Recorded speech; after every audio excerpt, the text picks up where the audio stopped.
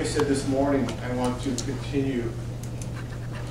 uh, I just want to share something else here first.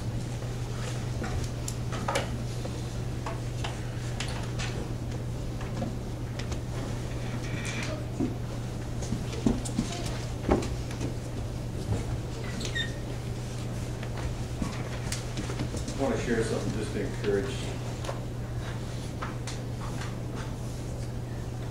You gotta think about what it was. uh, 'cause I did not write it down. Um,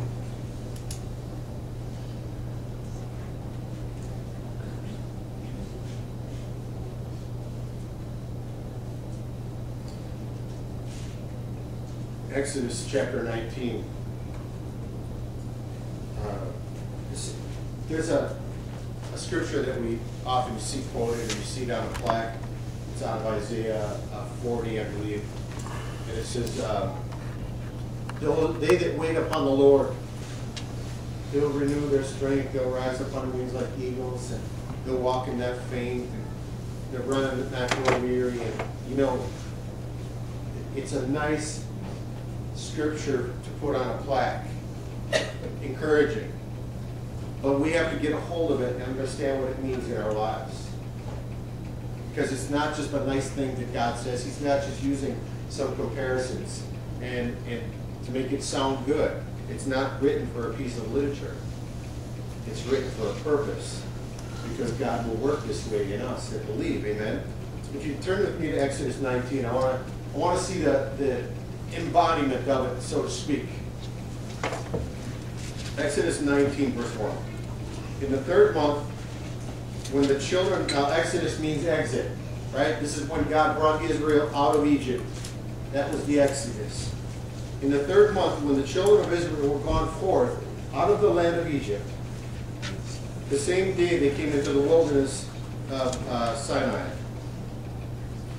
For they were departed from Rephidim and were come to the desert of Sinai and had pitched in the wilderness, and there Israel camped before the mountain. And Moses went up unto God, and the Lord called unto him out of the mountain, saying, Thus shall you say to the house of Jacob, and tell the children of Israel, You have seen what I did unto the, unto the Egyptians. We saw what God did, meaning what? Meaning when, meaning when God parted the Red Sea, Israel went through on dry land, but when Egypt was coming to destroy them, God allowed the waters to overcome them and drown them. God destroyed. Pretty much God saying, you saw how, number one, I protected you and delivered you from your enemies, and number two, how I destroyed your enemies. And how God brought them through in providing and taking care of them and leading them with a pillar of fire and a cloud, how God directed. Now listen, God said, tell the people this. You saw what I did to the Egyptians, and how I bare you on eagle's wings and brought you to myself. See, this is the this is the enactment of when God says, "Those that wait on me, right? They'll mount up like wings." That means God will draw you unto Himself. God will bear you up, and God will hold you. God will support you. How He said, "How I bear you on eagle's wings, and I brought you unto myself." And this is what God will do: is those that wait on the Lord. God will do that. This is what it means, you know mount up like wings on eagles, meaning God is going to draw you unto himself. He's going to support you. He's going to be with you. He's going to defend you. So wait on the Lord in all of your things, and God will give victory. Wait on your wait on the Lord in all of your dealings, and God will give you victory. Amen. Praise God. That's His will is to strengthen us that way, and to be to draw us unto Himself. Amen. Hope you're encouraged by that. Amen. First Thessalonians, I want to share another scripture here before I get started. As part of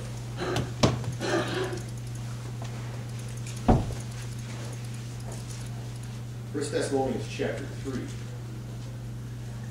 If you have your Bible, follow along. I know it's great that we have this up here. Oh, look at now, you gotta follow along.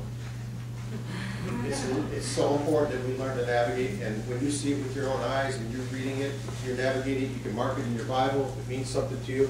it's so important that we learn to navigate through our Bibles. But First Timothy chapter three says, where, First Thessalonians, yep. Wherefore, when we could no longer forbear, we thought it good to be left at Athens alone. And we sent Timotheus, our brother and minister of God, and our fellow laborer in the gospel of Christ, to establish you. Now we're talking about the righteous. God will not suffer the righteous to be moved. He wants to establish us. Amen? To establish you uh, in the gospel of Christ, to establish you and to comfort you concerning your faith. That no man should be moved by these afflictions. For you yourselves know that we are appointed thereunto. What he's talking about is in Christianity, we are appointed to trials and tribulations. We are appointed to hardships. We are appointed to afflictions. We are appointed to, to burdens. We are appointed to these things. Because God uses these things to refine us and to identify us and to shape us and to mold us, to make us and to teach us. Amen? So he said, I don't want any, I want you to, number one, I want you to be established in Christ. We're sending Timothy to establish you in the things of God, to establish you in your faith, so that nobody is moved by these afflictions. The things that we see, this is the problem that we see. Trials happen, temptations come, uh, tribulations come, hardships come, but people and people are being moved because we're not established. We need to be established. And Paul says this: I'm sending Timothy uh, to in, to uh, in the gospel of Christ to establish you and to comfort you concerning your faith. That no man should be moved by these afflictions, for you know yourselves that we are appointed thereunto. For verily, when we were with you, we told you before that we should suffer tribulation, even as it came to pass, and you know. For this cause, when I could no longer forbear, I sent to know your faith, lest by some means the tempter have tempted you, and our labor be in vain. He said, I sent Timothy. I wanted to see your condition. I wanted to make sure you're encouraged in the faith. Because I know the enemy's going through the camp, trying to tempt people and discourage them and get them to go shipwreck in their faith. Get them to be moved away from the gospel of Jesus Christ. I know that's happening. Gina was just telling me. With law. Mariah, they, they had some pastor come, I don't know what he's standing for, but some pastor come and preach on, on the on the camp, the base. And he was a man, 20 years, that served the Lord. And then he turned away from God and spent a year preaching to deny God. And Mariah and this guy came and preached on base, trying to deny and denounce God. He was moved away somewhere. I guarantee you, something happened in his life that moved him away from the gospel. The enemy came, the tempter came, and he was able to be moved because he had a door that was opened. If it was lust, if he was just uh, negligent in his spiritual man, if he was after something else, and he lost his way with God. He was not established. The tempter came through the camp, and he was plucked out. That's how it can happen. And, and, and he said, I sent Timothy so that we might know your condition, so that our labor is not in vain. I'm not working this hard. I'm not praying. I'm not putting my life at risk every day from being chased down by the enemy and, and being threatened by the enemy in prison. I'm not doing this in vain. I want to know that you're walking with God properly. This is what he's saying. This will come to our country as well. This will. We have to know that we're established in our faith. Amen that we know God, that we walk with God the right way. I guarantee you the churches in Europe, I hope with all my heart, I hope with all my heart, the churches in Europe, the Christians there are saying, we didn't preach hard enough, we didn't preach loud enough, we didn't pray hard enough, we didn't evangelize, we were so consumed with our entertainment, we were so consumed with our pleasure, and now we're enslaved by the Muslims. That's what's happening in France. Make no mistake, it's the same trap is being set up in America. Exact same trap is being set up in America. Guys, God wants us to be ready. God wants us to be a people that are prepared. Amen. So let's go. Uh, we're gonna we're gonna continue on in Psalm 55, verse 22. Again, the scripture is three parts. Cast your Cast your burdens on the Lord, number one, and he shall sustain thee, number two. He shall never suffer the righteous to be moved. We don't want to be a people that are moved. We want to be a people strong and sturdy and steady, a solid oak. Amen? But we got to go back to the first part. How do we get there? We cast our burdens on the Lord. We talked about that last week. We talked about prayer. Uh, God wants us to change the dynamics of our prayer life. He doesn't want us to be uh, praying sleepy prayers. He doesn't want us to be praying lukewarm prayers. But he wants us to press in. And we, I shared some scripture about how Jesus was in the garden and, and, being in agony, he prayed and he sweat, as it were, drops of blood. He labored in prayer. He labored to the point that he, because he was overcoming the will of, of his own flesh as a man, as surrendering to the will of the Father, he prayed earnestly, as it were, and he told the disciples at that, at that time again, pray that you enter not into temptation. Why are you sleeping? He came and found them sleeping. Why are you sleeping? Pray that you enter not temptation. The angel of God comes from heaven and strengthens him and he prays even more earnestly. Father, if it's possible. And there's an agony, there's a battle, and there's something going on in the garden there because he had to overcome the will of man. And I'm telling you, every one of us, it's the same thing. We all have something to overcome and, and things that will come our way that we have to walk in the Spirit and, and overcome all the flesh. Amen? There's another scripture in Hebrews that says, In the times of his flesh, he offered up strong tears, uh, strong crying and tears before the Father. My prayer is, God, bring us to the realization how empty or how cold or how complacent or how lukewarm we are that, that we're brought to tears. God, forgive us. God, wash us. God, set my heart on fire that we get a, an anguish about us that says, God, I can't go on this way anymore, but God, I need victory. Lord, be my help. Lord, deliver me from this, or deliver me from this, or God, bring me victory. Touch my body. Give me healing, Lord.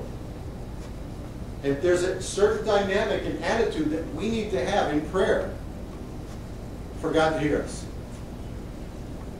Some people won't agree with that, and that's okay. But I'm saying, as many people as were around Jesus, only one person got touched. And that was the woman that came with the determination. That was the woman that came with a purpose. She wasn't hanging out. She wasn't there to hear something new. She was there to get touched by Jesus. She came with a different dynamic in her purpose, and the power of God touched her. And you, the same thing will happen to you and I. When we come before God this way, we don't serve a dead God. We come when we bring ourselves before Him and cry out. And I'm not saying you have to be loud and boisterous like me. I'm not, I'm not trying to make copycats. I just want the sincerity. God's looking for the sincerity in our prayer life. Amen? And sometimes it's anguish, and sometimes you cry out. You have to. If you don't, something's not right. Pour it all out before God. Pour your heart out before Him, because God will be our help in time of need. Amen? anyway, um, let's go to, uh, I'm going to change course here a minute. Turn with me, because I want to show you something here.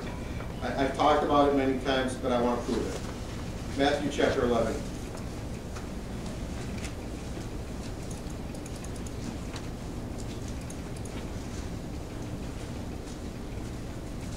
Matthew chapter 11, verse 1. It came to pass when Jesus made an end of commanding his twelve disciples that he departed uh, to teach and to preach in their cities. Now when John heard in the prison the works of Christ, he sent to his disciples. John had heard about the miracles that Jesus was doing. He was going out healing the sick, raising the dead, casting out demons. These are the works of Christ. These are the works that God wants to do in us as well, right? And through us. He sent two of his disciples and said to them, Are you the are you he that should come, or should we look for another? He's asking the question, are you the Messiah, or are we waiting for somebody else? Look at how Jesus answers him. He didn't say, yep, I'm the one. I am he. He didn't say that, he didn't answer that way. Here's what he said. Go and tell John this. Go and show John again those things which you do hear and see.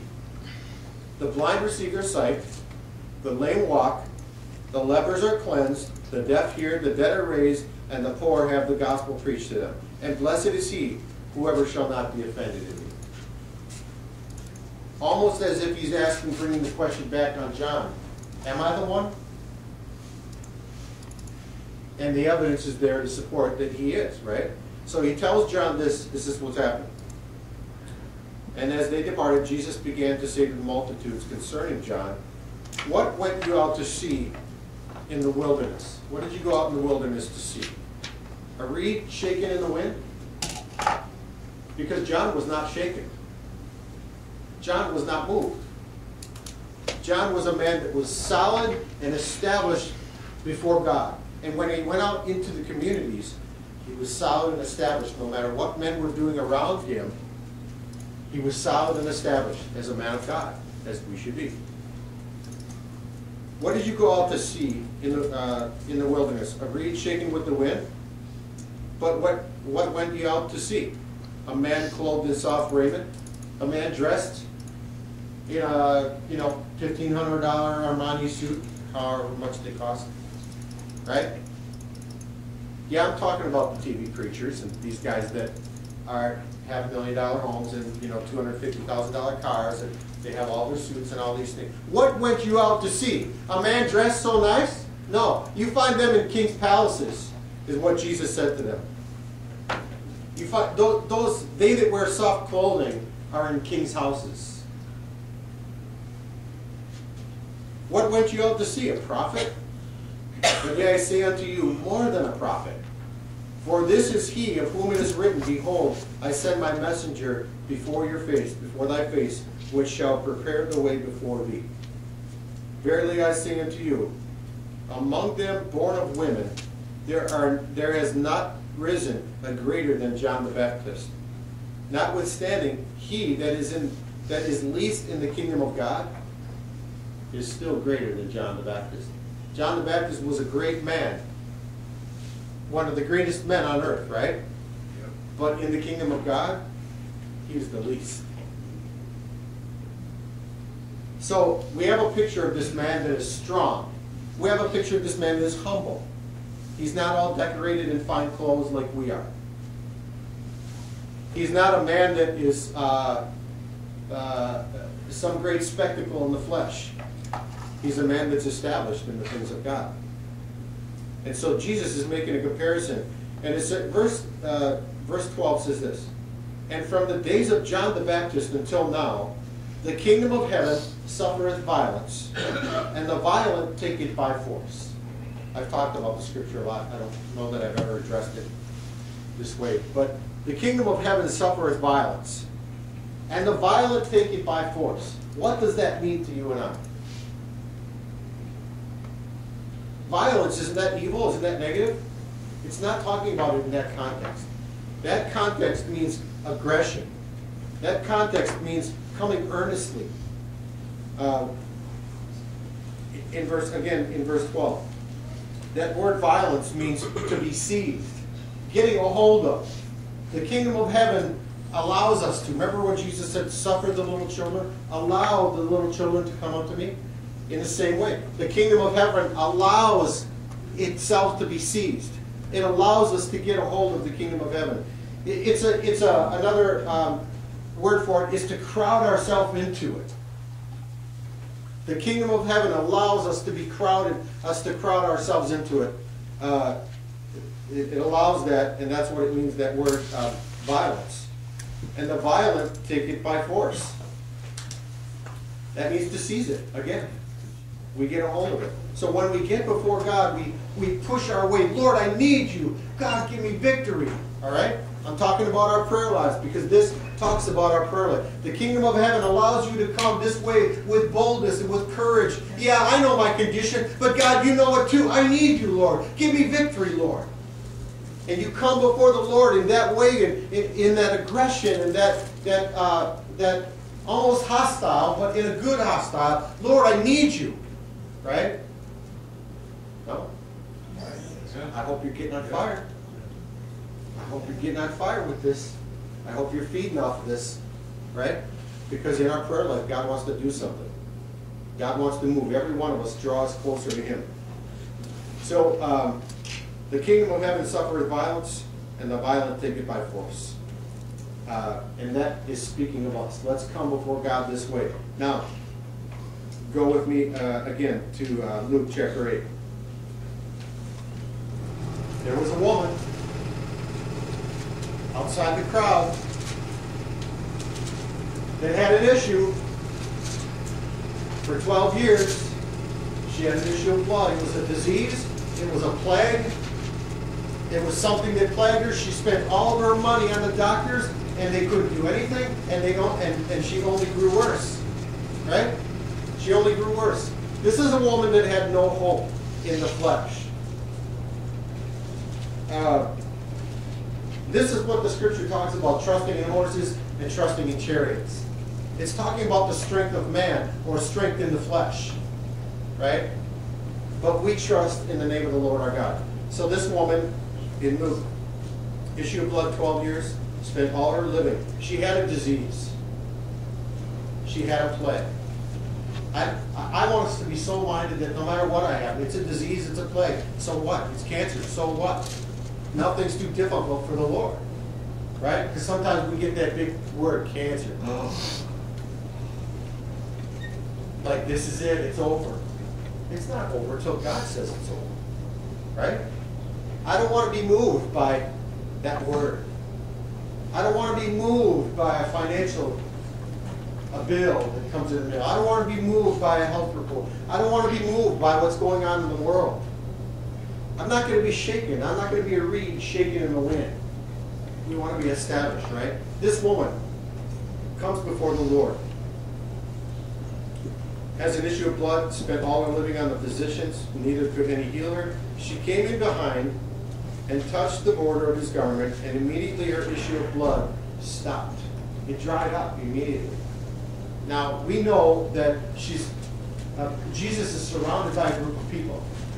And we know that she had to make her way through that crowd. I talk about this a lot. There's something really special about this woman and this testimony.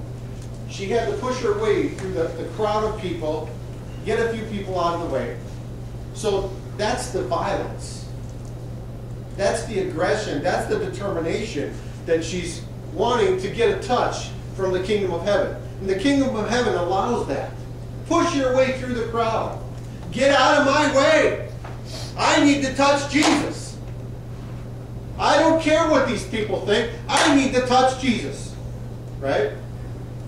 This has to be our mindset when we come to prayer. And Jesus looked around and said, Who touched me? And everybody denied, and Peter that were with him said, Master, the multitude throng you and press against you, the, the pressing up against, you. it's a, a, a thick crowd here, and you say, Who touched me? Jesus said, Somebody has touched me, for I perceive that virtue or power has gone out from me.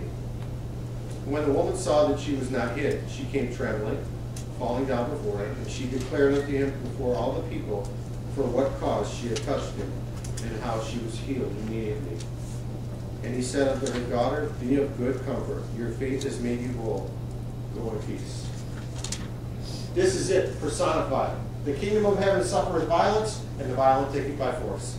Of all the people that were standing around the kingdom of heaven, and I'm speaking of Jesus, one person took it by force. One person had the courage to push everybody out of the way, make her way through the crowd, and say, if I can just touch the hem of his garment, I know I'll be healed. And she did. So how can that change your prayer life? How can that change your attitude and your mindset when you go before the Lord and you cast your cares on Him? That's the first part of the scripture. Psalm 55. Cast your burdens on the Lord, and He will sustain you. Amen? When we pray, let's pray this way. All right. Back on course. Psalm 55, verse 22. Cast your burdens on the Lord, and He shall sustain you. He shall never suffer the righteous to be moved. Turn with me to Genesis 32. We're going to look at He shall sustain you. Casting your cares on the Lord, and He shall sustain you. To look at that part now. Genesis 32, starting in verse 24. Jacob was left alone. Here he's left alone in the wilderness. He sent his family before to meet his brother, sort of a peace offering. He still doesn't know how his brother's going to respond. He hasn't seen him in a long time. They left on bad terms. They separated on bad terms. And he's sending his family before him as a peace offering, so to speak. and Jacob was left alone there in the wilderness. And there, and there he wrestled with a man. Uh, a man wrestled with him until the breaking of day. And when he saw that he prevailed not against him, the man against Jacob, he touched the hollow of his thigh, and the hollow of Jacob's thigh was out of joint as he wrestled with him. Jacob had an issue. Jacob had a problem. Jacob had a struggle. Jacob had a battle. Jacob had a trial. Jacob had a need. Jacob had an issue, as we do. Okay? Jacob goes into the wilderness and he's all alone with God. And he's wrestling, as it were, the angel of God. He's getting a hold. The kingdom of heaven suffereth violence. He's seizing the presence of God. He's seizing the angel of God. And he says, I won't let you go until you bless me. And the angel sees that he's not gonna he's not gonna have victory over Jacob. Right? Understand this. The angel sees he's not going to have victory over Jacob. The presence of God, the angel was sent on behalf, and the presence uh, uh, of God. The angel is not victorious over Jacob. Can that be true? Can that be right? Is the angel more powerful than Jacob, or was Jacob more powerful than the angel?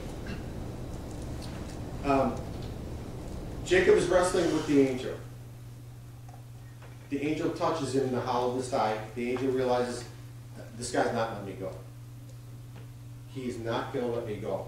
It's, it's, it's a story, it's a picture of how we need to go in prayer and wrestle with God. That we need to get a hold of the kingdom of heaven. The kingdom of heaven suffers violence. You can seize it. And those that will seize it will take it. Amen? Uh, Anyway, uh, when he saw that he not prevailed not against him, he touched the hollow of his thigh, and the hollow of Jacob's thigh was out of joint as he wrestled with him. And he said, Let me go, for day breaks. And he said, I will not let you go unless you bless me. Do you remember the widow and the unjust judge? How Jesus talked about the kingdom of heaven? This was an analogy, it was a picture, a parable of the kingdom of heaven, right? There's an old widow that wanted defense from her enemy. We know it. And she went to the judge, and the judge didn't fear God, the judge didn't fear man. He didn't care. But what happened with that widow?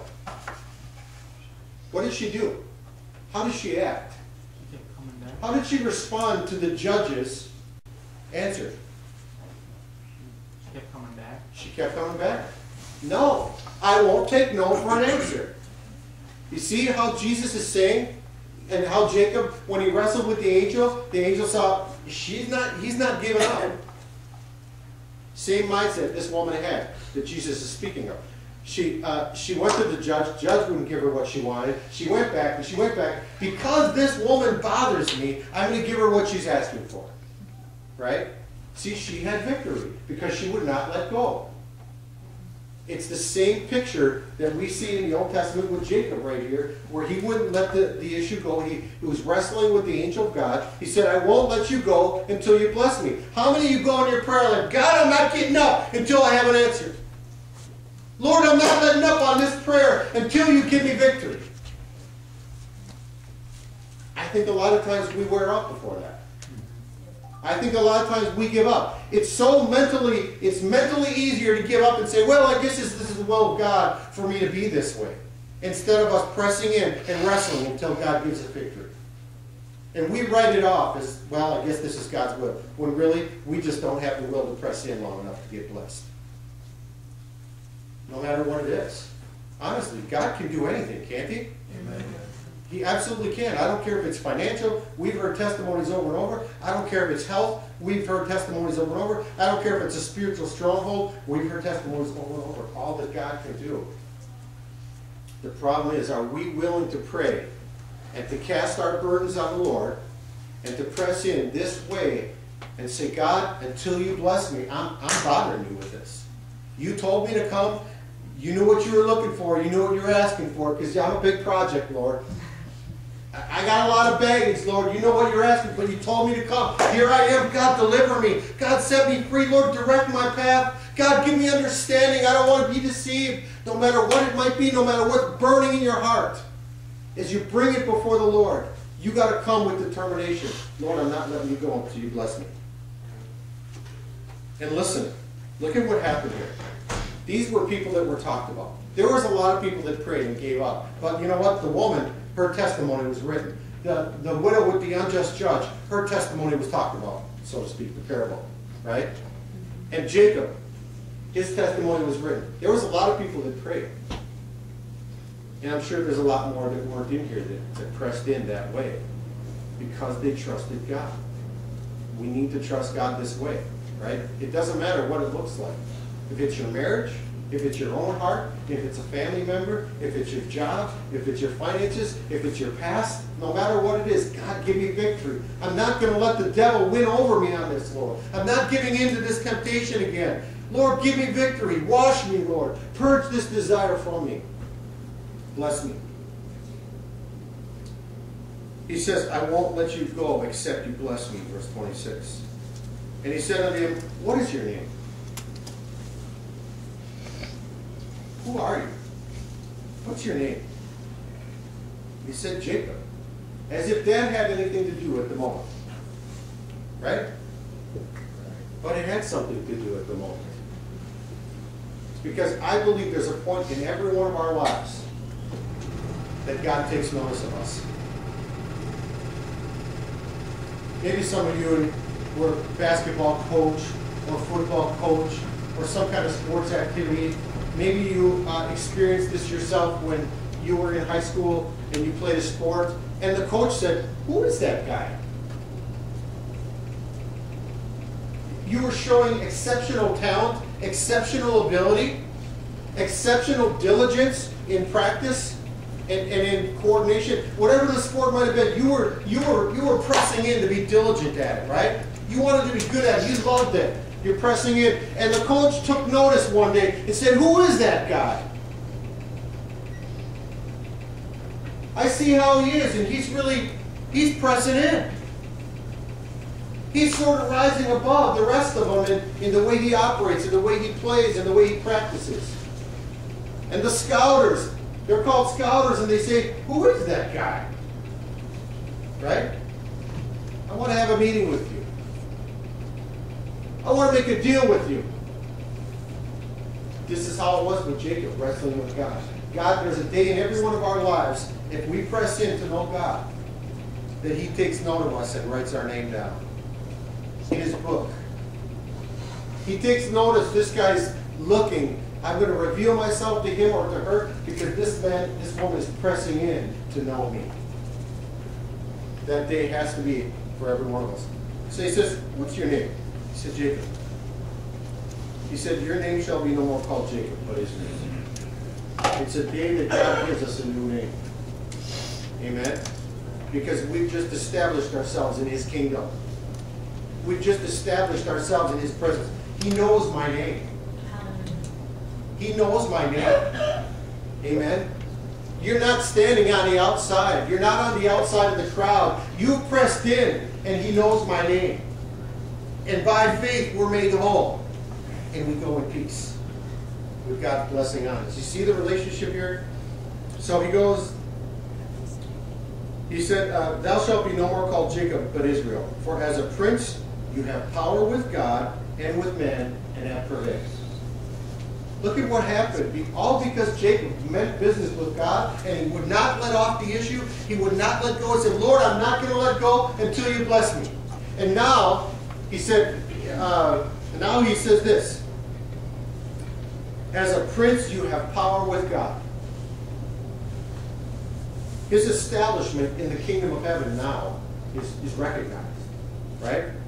He has power with God and with men, and he's, had, he's prevailed. He's got victory. God gave him victory. And Jacob asked again and said, Tell me, I pray thee thy name. Uh, and, and Jacob asked him and said, Tell me, I pray that uh, I pray thee thy name. And he said, Wherefore is it that you uh, that you do ask after my name?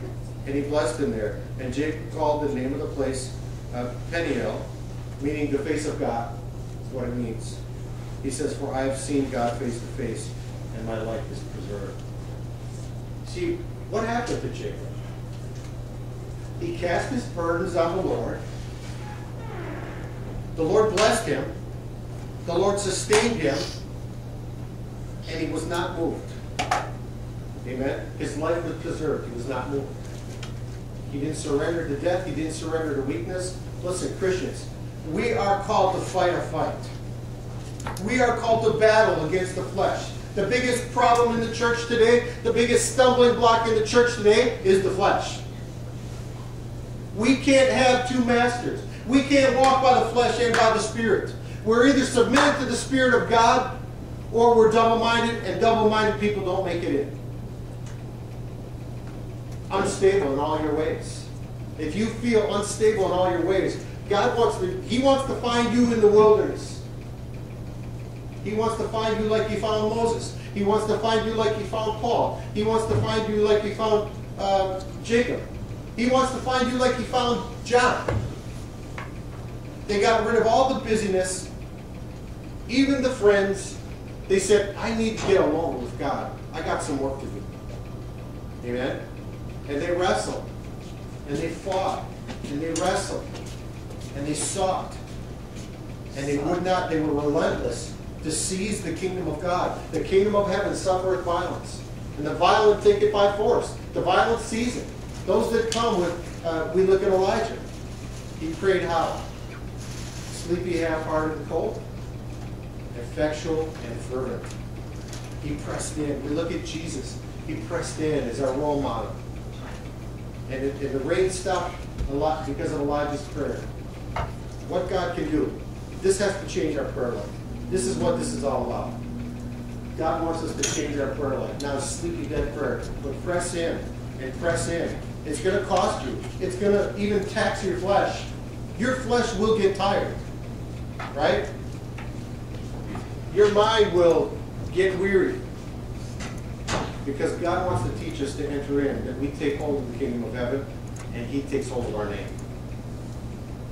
God says, Who is this guy that's knocking on my door? Who is this man that's taking hold of my, the hem of my garment, or this woman that's determined to touch the hem of my garment? Who is the one that's asking me for power? That they might live, that they might be blessed. Who wants the power of God? I do, Lord. This is why I press in. God, I need your power. I can't live on my own strength. Lord, give me your power. And every one of us, God wants to give us power to overcome the flesh, overcome discouragement, overcome worldliness, overcome loser mentality, overcome all the seductions of this world and the pleasures of life that try to distract us. God wants to draw us unto himself, and he said, now, you're going to be a prince in the kingdom of heaven. And what does Jesus say? He said, You're a royal priesthood, a holy nation, the Word of God teaches us, right? You are a royal priesthood. He's speaking of the church. Those that likewise, these men, have pressed in and got hold of the kingdom of, of heaven. A royal priesthood, a holy nation, as the church in the building of Jesus Christ. We are when we come this way. Amen? Listen, this has to be the year that we become doers. We get fed and we get, we get fat and lazy. We got to start acting on the things that we're hearing. We got to start acting on the Word. And, and God is going to make a place for us. God is going to bless us. And we'll have power. Do you know what that means? That means that Jacob had God's ear. That means that when Jacob called out, God heard him. Because Jacob learned to press in and get a hold of the kingdom of God. Every one of us, we need to do the same thing. I want you more and more and more. I, I know. I want more of God. I know I want more of His power. I'm not content yet. Even if I was good yesterday and God used me yesterday, praise God. But that was yesterday. What about today? We got some things coming up. God, clothe me with your power. Give me wisdom. Prepare my heart. Put your words in my mouth, Lord. Let the body get on fire. Let the people stand up. rise up in the name of the Lord. Amen? Because God wants to give us victory. Praise God, let's stand. Going to end right there.